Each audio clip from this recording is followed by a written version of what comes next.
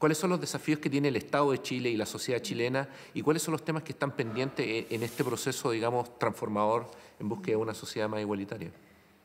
El Estado tiene que hacerse cargo de la paridad, ¿no?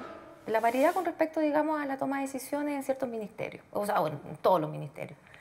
Y para eso tienes que legislar y hacer regir la ley, ¿no? Entonces, la excusa del Estado generalmente es, es que no hay mujeres que accedan, digamos, a esos cargos porque no están capacitadas. Eso es mentira. O sea, tenemos, digamos, ya varias generaciones con mujeres absolutamente capaces que han estudiado, digamos, en todas las áreas. ¿ya?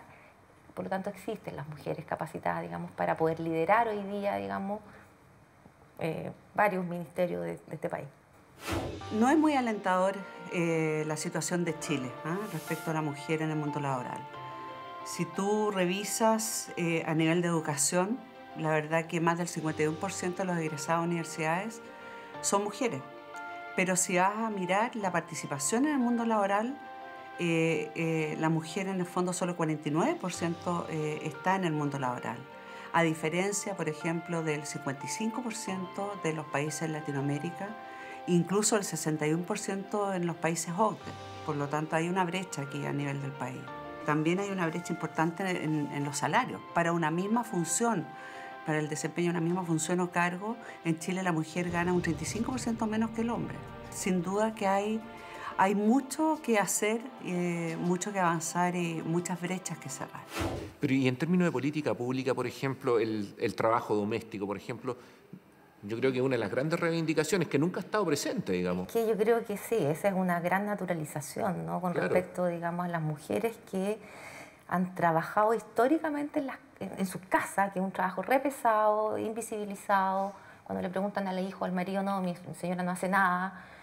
Eso es, es, naturalizar, o sea, es naturalizar un trabajo de Pero toda como la sociedad, vida. ¿cómo, ¿cómo revertimos todas estas desnaturalizaciones? Porque de pronto estuvo el abuso, se discutió bastante, el acoso se discutió bastante, el piropo se discutió bastante, pero todavía están enraizados estos temas, estas naturalizaciones que no van a cambiar en los próximos Yo creo que décadas, ¿no? son varias cosas que tienen que ir de la mano. Una un cambio radical en las estructuras mentales de los sujetos. O sea, tenemos que cambiar las representaciones, representaciones simbólicas que tenemos, no salirnos del binarismo, por ejemplo. Claro. Sal- sacar el binarismo, digamos, de nuestras cabezas. O sea, hombre, mujer, negro, blanco, eso no existe. O sea, Somos todos, ya a esta altura del 2000, casi 2020, somos todos mestizos, estamos todos mezclados. O sea, blanco, negro, digamos, ya eso ya pasó hace siglos.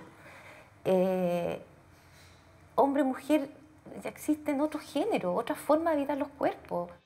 Es todo un desafío para incluso la sociedad poder pensar a las mujeres y a las di- disidencias sexuales dentro de estos espacios que históricamente se han construido desde la perspectiva masculina y que por tanto se producen todas estas cuestiones como espacios inseguros, discriminación, poca inclusión, etcétera, que es lo que provoca que un espacio se haya pensado desde una visión totalmente masculinizada, solamente para los hombres. E incluso hoy día las mujeres que ingresan a la universidad no lo hacen a cualquier carrera, no lo hacen a cualquier universidad, no lo hacen a cualquier área, lo hacen a pedagogía en general, lo hacen a eh, psicología, párvulo, etcétera, toda esta área que está como eh, caracterizada por el cuidado, los servicios. En cambio, siguen habiendo carreras súper masculinizadas como es construcción civil, como es ingeniería, donde vemos a muy pocas mujeres y que también ellas están eh, dando una pelea muy fuerte porque son los espacios más masculinizados donde menos se piensa la presencia femenina dentro de la universidad. Claudia, por de pronto todos los cambios que tú planteas un poco, eh, me, me cuesta imaginarlo en esta sociedad chilena que es una sociedad más bien dicho conservadora, más bien dicho católica, eh, no muy abierta a los cambios. Eh, ¿Cómo lo ves tú eso? Yo creo que a poco, digamos, esta revolución, to- eh, todas las denuncias que, ha- que han sucedido, digamos, eso yo creo que va a empezar a gestar formas de relacionarse entre los sujetos humanos, sean chilenos, conservadores, católicos, apostólicos, romanos, de otra forma. Yo creo que, o sea, que, que no nos queda otra. Es que no hay otra. no- no- yo creo que no hay otra forma, digamos, si no aceptamos esa diferencia. o sea, entonces, ¿cómo nos, no- no nos podemos relacionar con el, con el mundo? Con, vamos a estar todos como encasillados en nuestros propios guetos, en nuestras propias familias, en esta cosa como homogénea y, y no vamos a ser capaces, digamos, de convivir con el que es distinto, que, con el que es diferente. Yo creo que tenemos que hacer un esfuerzo y yo creo que sí, es posible, pese a lo muy conservador que es esta sociedad.